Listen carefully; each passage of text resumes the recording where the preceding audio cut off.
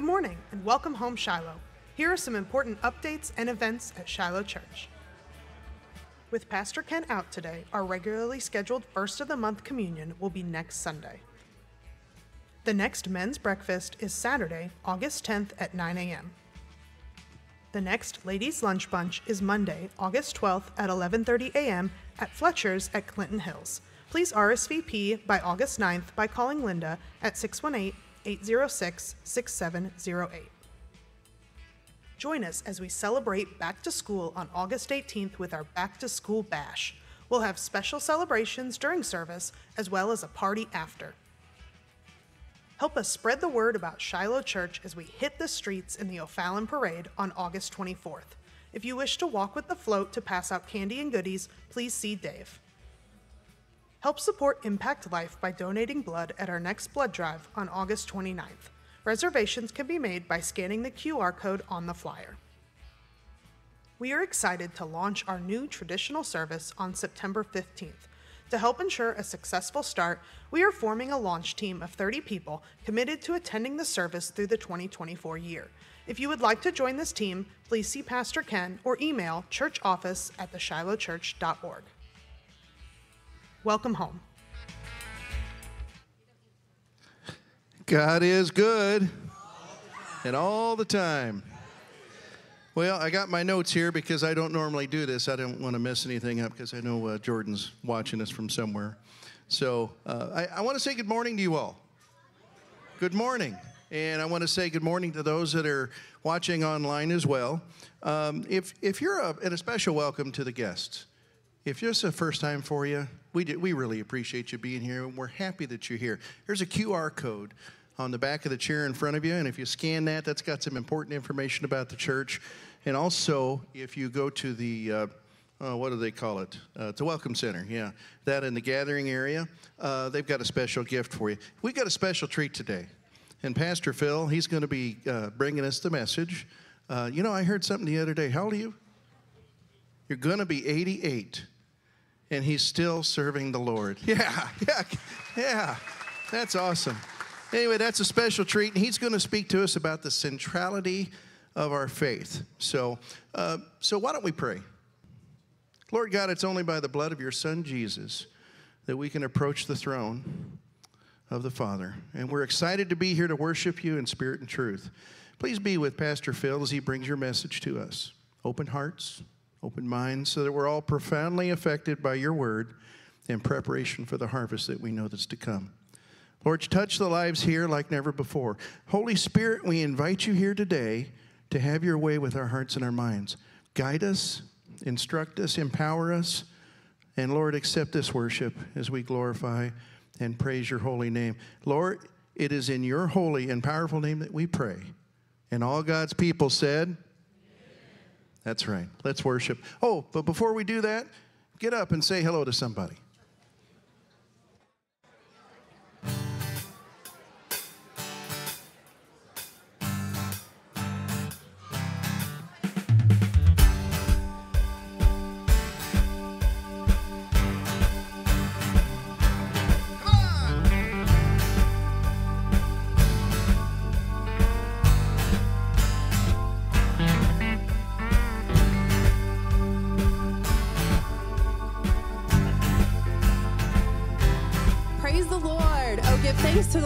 He is good, for his steadfast love endures forever. From Psalm 106 1.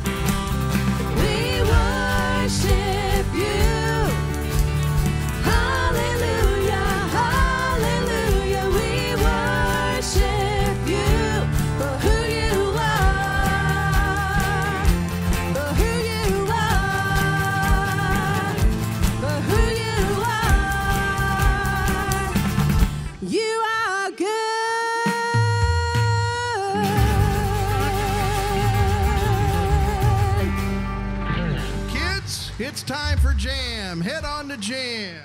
Go ahead, Dave.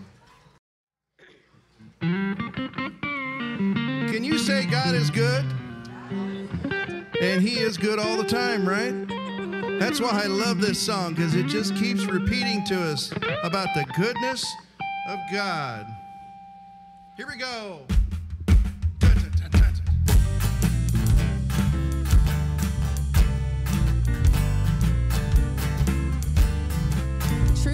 God is good to the upright, to those who are pure in heart. Psalm 73 1. God is good. God is good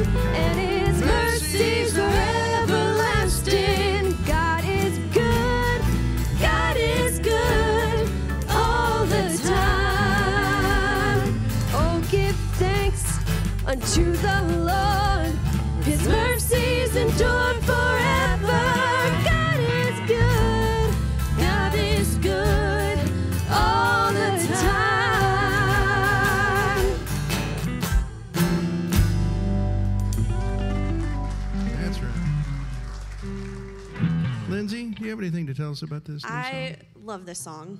Um, I feel like when you enter into the presence of the Lord, there's something special that happens. I'm gonna cry, so, so don't don't judge me.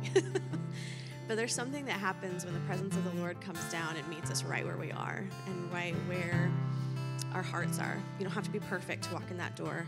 You just have to come and say, "Be with me," because that's all He wants is just to be with you.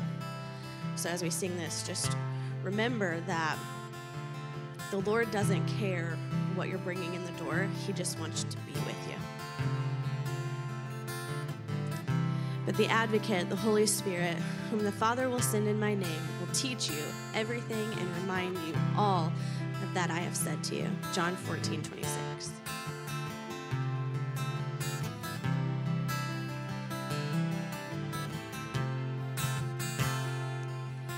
As the Spirit was moving over the water, Spirit, come move over us. Come rest on us. Come rest on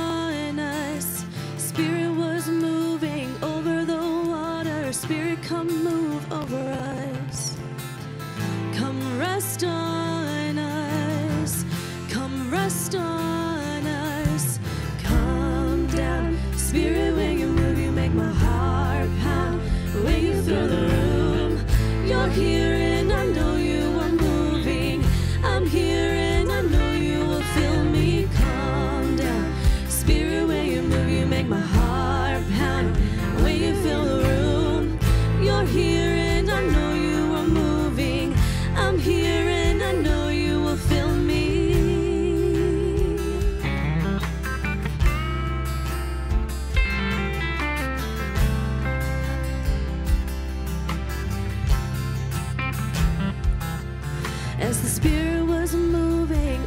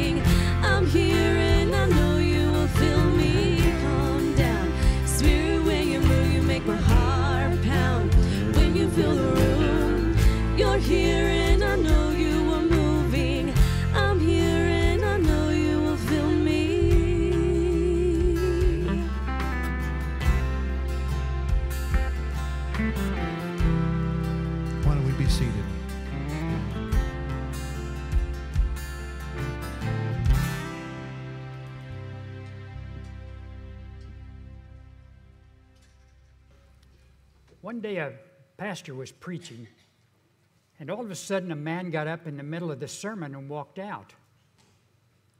And the pastor was bothered. He was disturbed because he thought maybe he said something that really caused the fellow to leave. And so when it was over, he went to his wife and he said, Did I say something that offended your husband? Oh, no. She said, Don't pay any attention to him. Said he walks in his sleep quite often.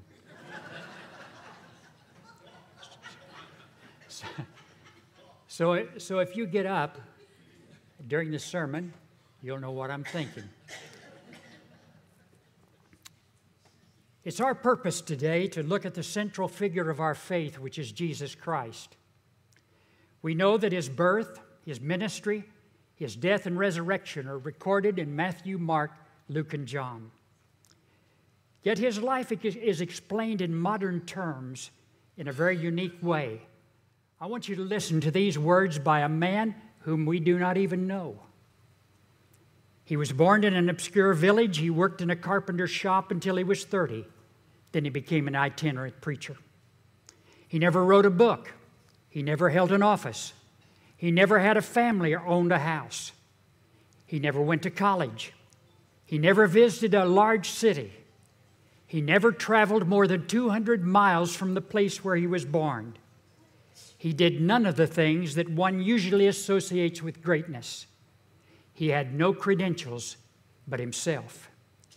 He was only 33 when the tide of public opinion turned against him. His friends ran away. He was turned over to his enemies and went through the mockery of a trial. He was nailed on a cross between two thieves. When he was dying, the executioners gambled for his clothing, which were the only thing that he owned in this world. When he was dead, he was laid in a borrowed grave through the pity of a friend. Centuries have come and gone. And today he remains the central figure of, our, of the human race, the leader of mankind's progress.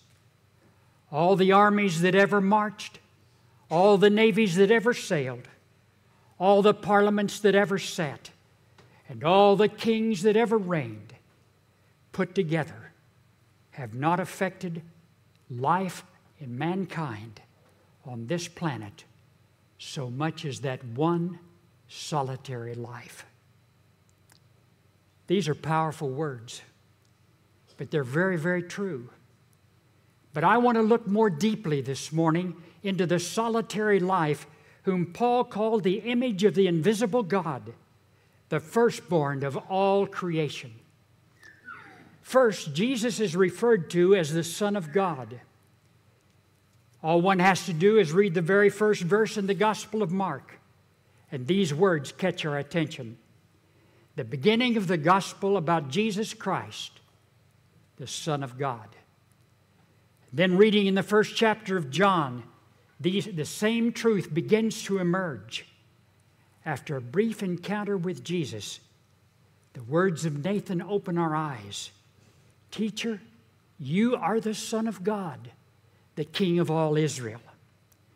These recognitions boldly refer to us that Jesus is divine, that he is the fulfillment of all biblical prophecies as the one who would come into the world, rule and reign, making the entire world a better and different place. Yet, folks, we have to come to grips with this. This affirmation precludes that Jesus was born of an earthly mother, but a heavenly father. This has been a stumbling block for many people down through the years. But the scriptures are very clear. And I want you to listen to these words from Matthew, the first chapter. This is how the birth of Jesus came about. His mother, Mary, was pledged to be married to Joseph. But before they came together, she was found to be with child through the Holy Spirit. Because Joseph was her husband and a righteous man, he did not want to expose her to public disgrace. And he had in mind to divorce her quietly. But after he had considered this, an angel of the Lord appeared to him in a dream and said, Joseph, son of David, do not be afraid to take Mary home with you because what is conceived in her is from the Holy Spirit. She will give birth to a son, and you are to give him the name Jesus, because he will save his people from their sins. Now, folks, whether you believe that or not, that's every one of you to decide. But that's what we affirm when we, when we repeat the Apostles' Creed. The idea is paramount in the Bible. It is the Son of God, that Jesus Christ, that Paul preached to the church at Corinthians.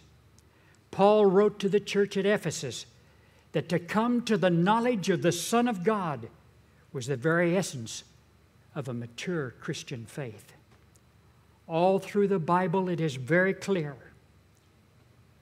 that the idea of Jesus as the Son of God is a part of the liturgy, the teachings, the preachings of all of his followers. Jesus is the Son of God. And to believe otherwise is to deny one of the central teachings of our faith. Now, secondly, Jesus is referred to as the Son of Man. The term is used some 70 times in the New Testament alone. Jesus often spoke of himself as the Son of Man.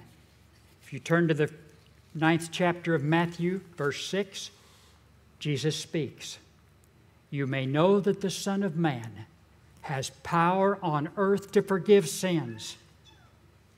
As I thought about this, I know that there's some theological reasons for this, but I want to drop right down to the bottom line and I want to put it in the vernacular so that we all understand it.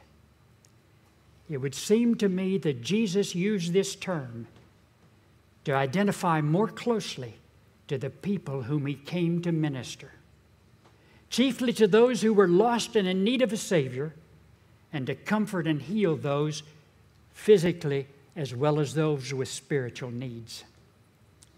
If we look closely, folks, at the idea that Jesus was the Son of Man and He came to bring hope and salvation to the world, we begin to realize that everybody who had an encounter with Jesus realized that his life needed to be changed, and He alone could provide a path whereby each person could find that liberating freedom that is open to all people who trust Him. Not long ago, a very short time ago, I read a book entitled Forgive, written by Timothy Keller. He wrote the book shortly before he died after a long battle with cancer. The book relates a story that we need to hear this morning. He said Tom Skinner was an African American evangelist who was born and raised on the streets of New York. He was converted, and in his memoir he wrote, Black and Freed, Black and Free, 2 Corinthians 5:17. If any man is in Christ, he is a new creature. He said, If I had not been reached by Jesus Christ, I would either be dead, in prison, or part of a gang. Jesus Christ is alive in me, he said. And he relates an incident that took place shortly after he became a Christian. In a football game, several weeks after he had accepted Christ, he said, My Christian love was put on display. He said, I played left guard on the team. It was my job to, on end runs or off tackle plays, to run interference for the halfback.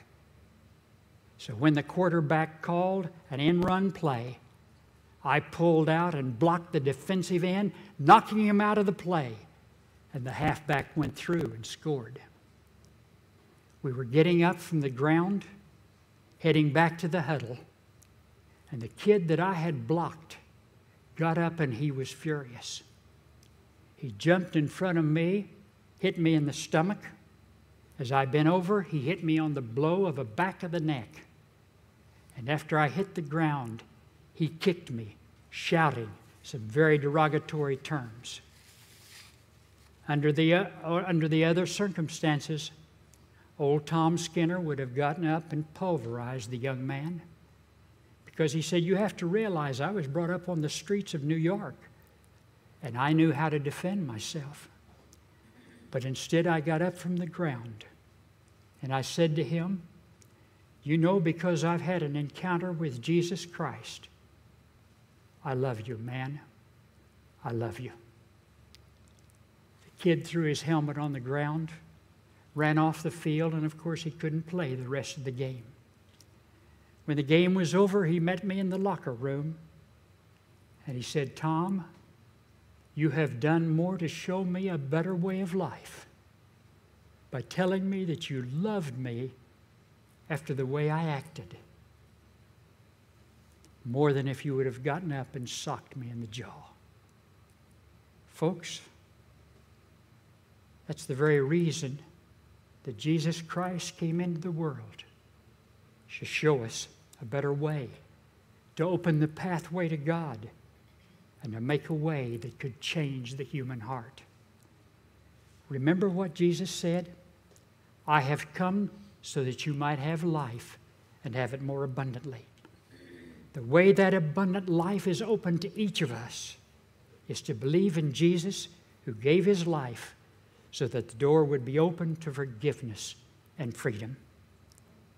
It's then that the experience, we experience that radical transformation that is promised. If any person is in Christ, he's a new creature. Lastly, Jesus said, I am the resurrection and the life.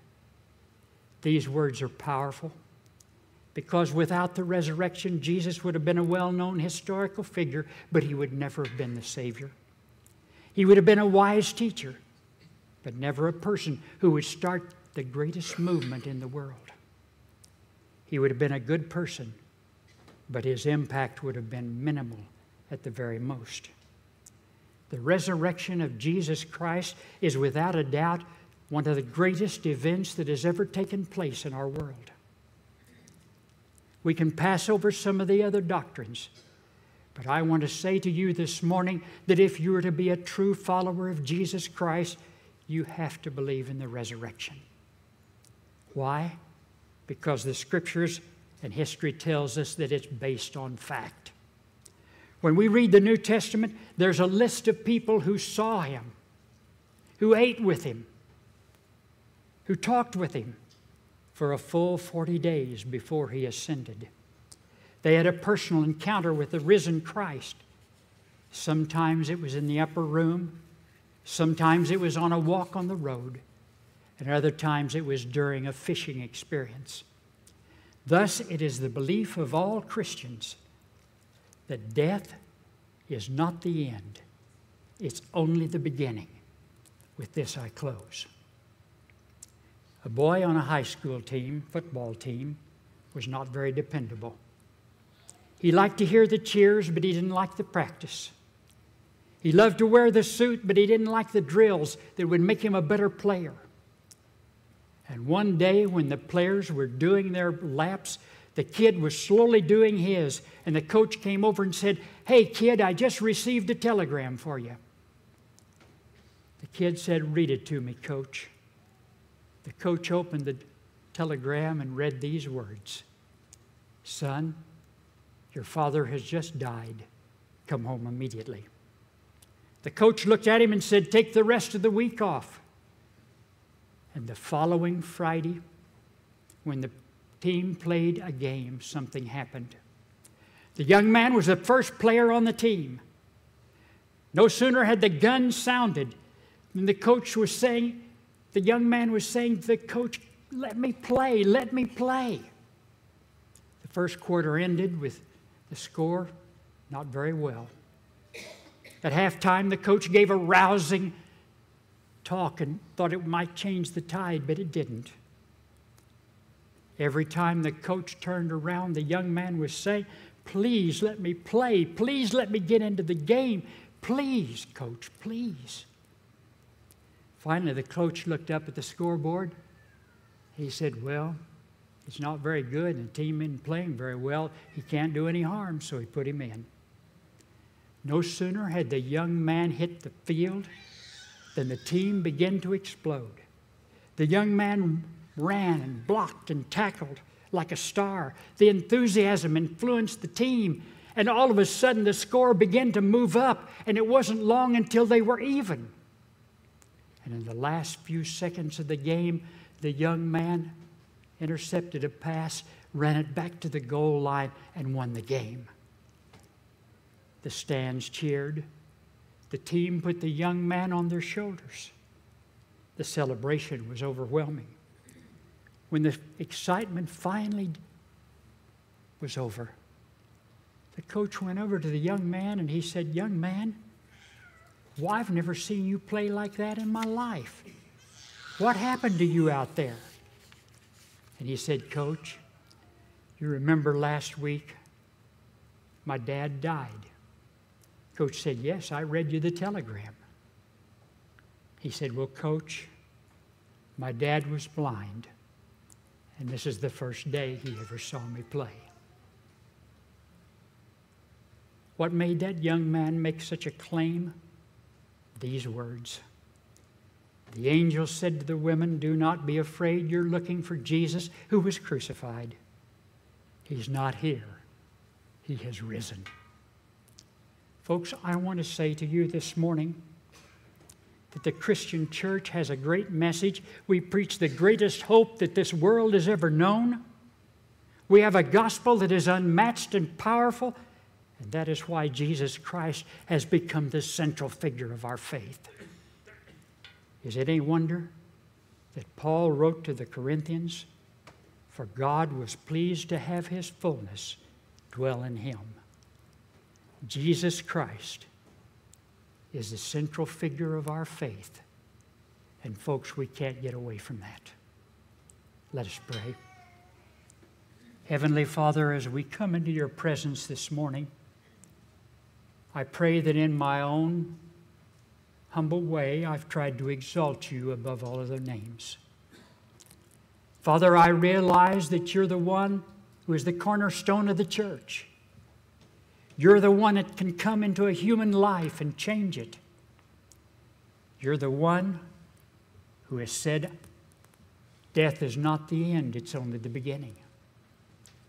And Lord, I want to thank you for your presence. I want to thank you for your love.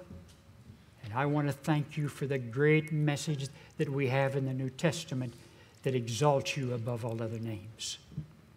Guide and direct us for we ask it in the name of Jesus and for his sake. Amen. As Pastor often says, this is our response time. And so this is our time to respond to God for his continuing grace and mercy and provision. Regarding provision, our tithes and offerings, uh, they're usually received online, but there is a box right over there. But guests, I want you to know that that box is not for you. That's for the members here that support this church. You are our guest. So if you've never accepted Jesus Christ as your Lord and as your Savior, you know, tomorrow's not promised. Now's the time to do that. Maybe you'd like to rededicate your life to the purposes of God. Maybe you have a need that's too much for you to handle on your own. That's most of my needs. And I need to turn to the Lord for that. Or maybe you've prayed for something and you've received a victory in your life. And you need to bring that up. That's every bit as important to come up and pray about. So, whatever the need or the thanksgiving, now's the time. Let's pray. Lord, thank you again for the opportunity to be here to worship with you to learn and to pray. Thank you that you hear us and answer our prayers with perfect timing. Lord, we don't always understand the answers or the whys, but we do know that we need you. We need you in every moment of our lives. We need you in our healing. We need you in our finances. We need you in our relationships. Lord, show us your presence in our lives. Touch each of our hearts and minds in a way that only you can. Lord, hear these prayers that your people now bring to you. Folks, as we remain in an attitude of prayer, and the prayer partners, they're going to station themselves about the sanctuary here. And we're going to sing a song of, of supplication. Come to the open throne. And it's the open throne because Jesus, Jesus tore that curtain. So come to the open throne of the living God with your petitions. Don't, don't put it off any longer. Come. Come not because you're told that you have to, but come because He allows you to. Come.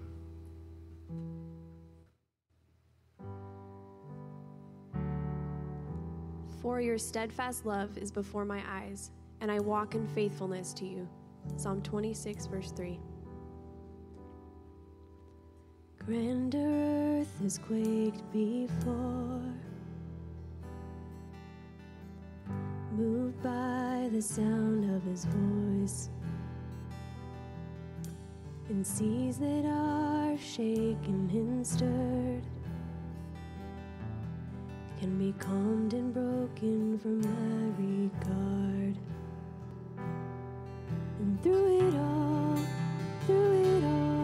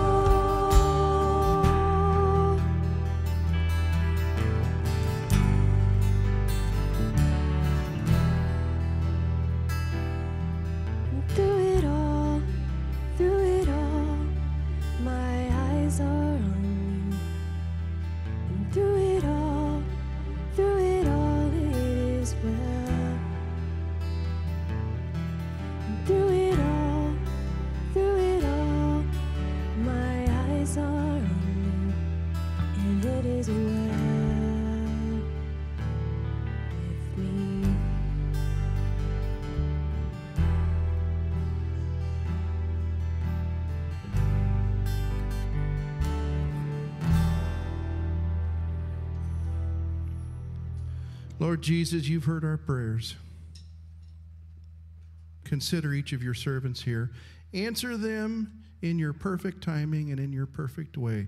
And may the glory for all that's happening be yours and yours alone. For all that you've done in our lives and all that you're about to do.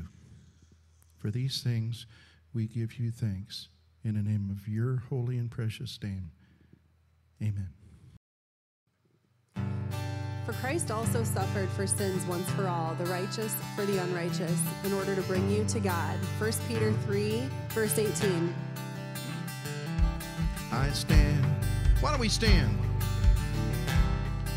Just occurred to me when I sang that word.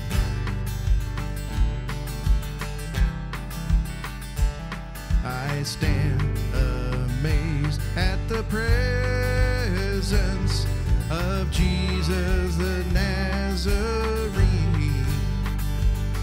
And wonder how he could love me, a sinner unkempt, unclean, singing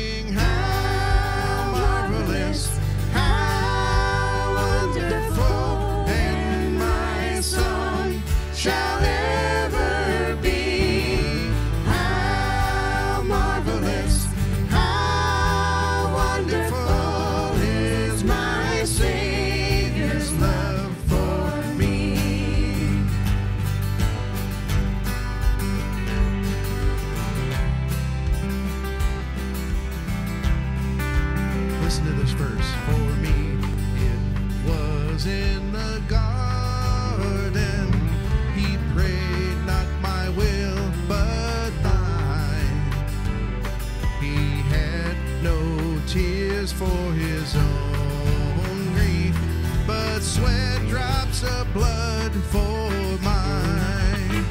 We're singing,